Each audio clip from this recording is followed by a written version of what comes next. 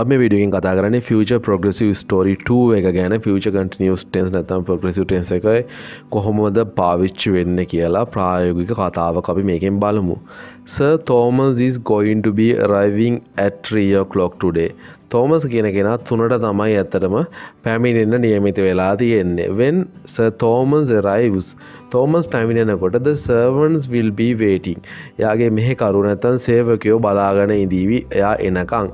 යං චාලි විල් ඕල්සෝබී වේඩිං ඇඩ්ද ඩෝ තරුණ චාලි එතන් තරුණ සේවකෙක් වන චාලිත් බලන් ඉන්නවා. බලන් ඉදීවී දොරනංග අරය එනකං කවද මේ තෝමන්ස් එනකම් බලන් ඉදීවි කියල් තමයි කියන්නේ.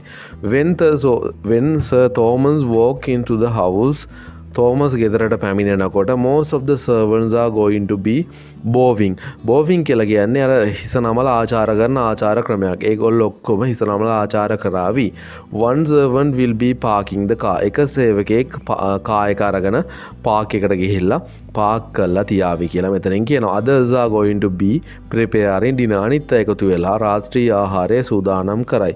Charlie's going to be carrying සතෝම suitcase into the house Charlie තමයි මේ තරුණ සේවකයා සගෙන තූට් කේසත ඇඳුම් හරි බෑගි කාරගෙන එයාගේ ගෙදෙට්ට යයි කියලා තමයි කියන්නේ මේ සිම්පල් ස්ටෝරයකින් හරි මේකටික් සිම්පල්ම ස්ටෝර එකක්. හරි මේ වගේ ස්ටෝරිස් වලින් හෙනම් ආපව් හම්බවෙමු.